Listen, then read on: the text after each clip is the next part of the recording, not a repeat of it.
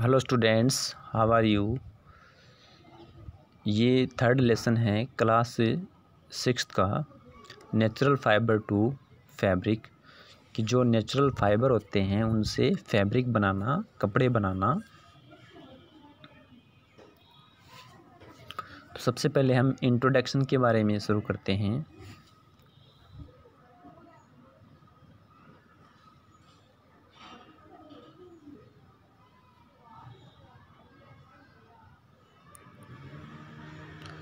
There are three basic necessities of human beings food, shelter, and clothing. जो human beings हैं, उनकी तीन आधारभूत क्या होती है? आवश्यकताएँ होती है। कौन कौन सी? एक तो भोजन, खाना शेल्टर मतलब रहने के लिए जगह, और क्लोथिंग पहनने के लिए कपड़े। This clothing is one of our basic needs इस प्रकार जो क्लॉथिंग है, कपड़े हैं, वो हमारी आधारभूत क्या है? आवश्यकता है।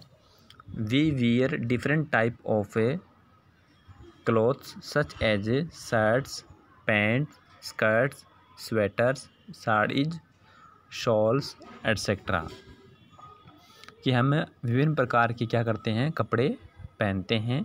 जैसे शर्ट है, पैंट है, स्कर्ट है, स्वेटर है, साड़ी है, शॉल है etcetera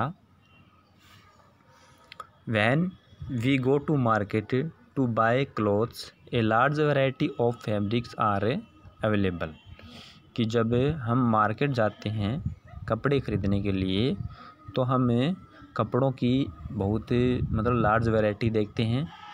Also, a large variety of clothes are available in our homes such as bed sheets, curtains, towels, shawl, etc. Do you know what are these clothes made of? किसी प्रकार हम हमारे घर में भी जो कपड़ों की जो वैरायटी है वो देखते हैं जैसे बेड शीट हैं टावल्स हैं शॉल हैं तकिए वगैरह हैं do you know what are these clothes made of क्या आप जानते हैं कि ये जो कपड़े होते हैं वो किससे बने होते हैं? क्या आप बता सकते हैं?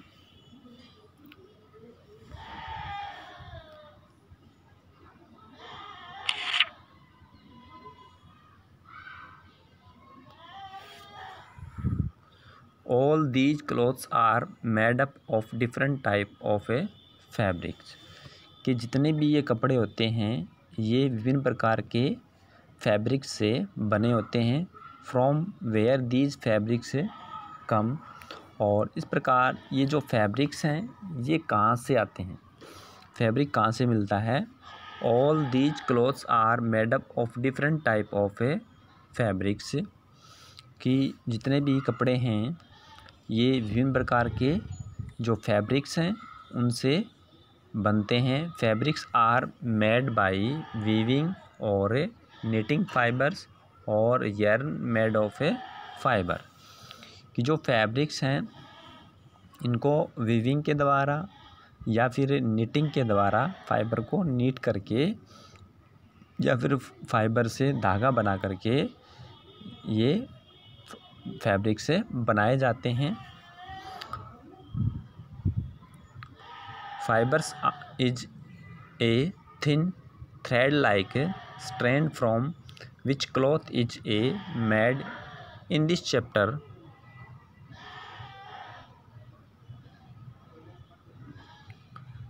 in this chapter, we will learn about a different type of fibers and a processing of fabric from fibers. कि जो फाइबर होता है वो क्या होता है पतला थ्रेड लाइक मतलब स्ट्रैंड होता है, एक धागेनुमा स्ट्रक्चर होती है। और इस चैप्टर में हम we will learn about different type of fibres कि हम अलग अलग प्रकार के जो फाइबर्स हैं, उनके बारे में हम पढ़ेंगे and processing of fabric from fibres और किस प्रकार से जो फाइबर हैं, उनसे फैब्रिक बनाए जाते हैं, कपड़े बनाए जाते हैं। Activity first Visit a tailoring shop nearby your house. Collect cutting of fabric left over after stitching. Touch and feel each and every piece of cloth. Label the clothes with a cotton, silk, wool and mix on the pieces of cloth. For this, take the help of a, a tailor. When you look at any cloth, it seems a continuous piece. Now pull a single thread from any piece of cloth what these fibers are sorry or cloth made of let us find out answer to these questions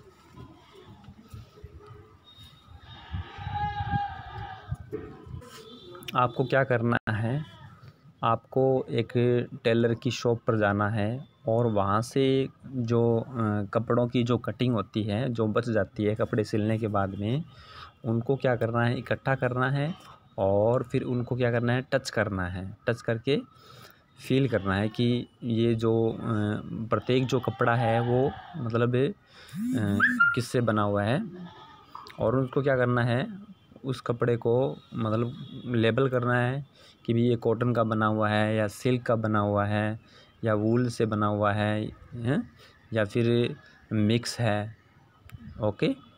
When you look at any cloth it seems academies piece कि जब आप किसी भी कपड़े को देखते हो तो ये एक टुकड़ा पीस आपको दिखाई देता है। Now pull a single thread from any piece of cloth what these fibres और क्लॉथ मेड ऑफ़ जब हम इसके एक धागे को बाहर खींचते हैं तब हम हम पता करते हैं कि भी ये जो फाइबर्स हैं, ये किससे बना होता है? Let's find out answer to these question से आओ, ये जो क्वेश्चन है, इनके आंसर का पता लगाएँ.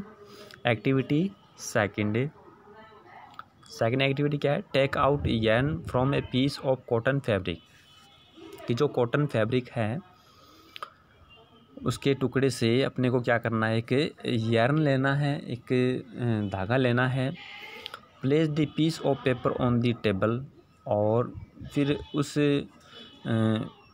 टुकड़े को क्या करना है place the piece of paper on the table table पर रखना है। Now press one end of the yarn with your thumb एक साइड से आपको क्या करना है थम से उसको दबाना है।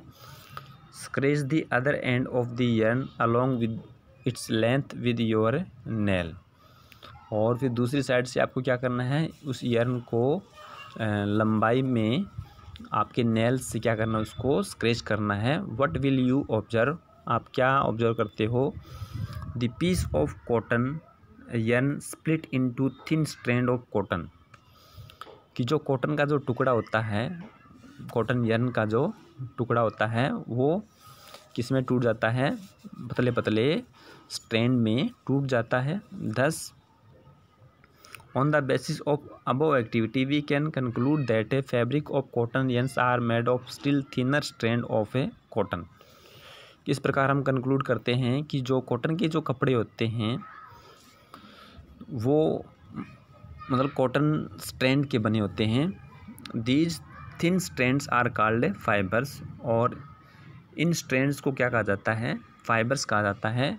Hence fabric are made up of yarn and yarn is made from fibre इस प्रकार जो फैब्रिक्स होते हैं, वो किससे बने होते हैं? यर्न से बने होते हैं और जो यर्न है, वो फाइबर से बने होते हैं। Now let's find out from where these fibres comes अब हम ये पता करेंगे कि ये जो फाइबर्स होते हैं, ये कहाँ से प्राप्त होते हैं?